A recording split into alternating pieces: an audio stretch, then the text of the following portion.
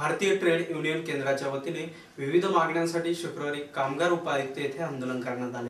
भारतीय trade union केंद्राच्या वतीने विविध मागण्यांसाठी शुक्रवारी कामगार उपायुक्त येथे आंदोलन करण्यात आले. यावेळी केंद्र सरकारने बोनस कायद्यात केलेल्या बदलाची अंमलबजावणी झाली पाहिजे यासह विविध मागण्यांसाठी हे आंदोलन करण्यात आले. जर दिवाळीपर्यंत मागण्या पूर्ण केल्या नाही तर तीव्र आंदोलन करण्याचा इशारा संघटनेचे अध्यक्ष उद्धव भवलकर यांनी दिला आहे दिवाळीच्या निमित्तानं कामगारांना बोनस मिळत असतो. यावर्षी मोदी सरकारनं जे काही सर्व कामगार संघटनांच्या मागण्याप्रमाणे आपल्याला कल्पना आहे दोन सप्टेंबरला देशातला झाला गेल्या वर्षी होता.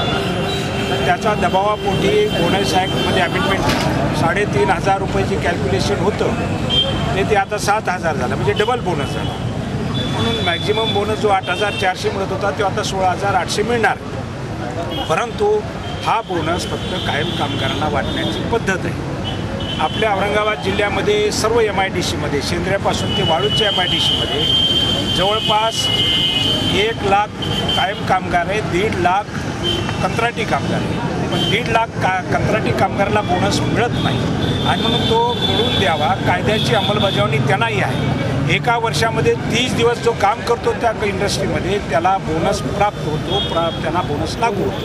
आणि म्हणून कंत्राटी कामगार तर ब- तीनशे पासष्ट दिवसापैकी तीनशे पासष्ट दिवस काम करतो. त्याला बोनस मिळत नाही. म्हणून सी आय टीनं हा इश्यू वन पॉईंट प्रोग्राम की या दीपावळीला बोनस कायद्यात झालेले जे काय बदल आहे अमेंडमेंट आहे त्याची अंमलबजावणी जे कामगार उपायुक्त कार्यालय करतं त्यांच्या मार्फत ती व्हावी यावेळी घोषणाबाजीही करण्यात आली. त्याचबरोबर कामगार उपायुक्तांना निवेदनही देण्यात आले. यावेळी उद्धव भवलकर दामोदर मानकापे छगन साबळे दीपक आहिरे बसवराज पटणे विश्वनाथ शेळके यासह अनेकांची उपस्थिती होती.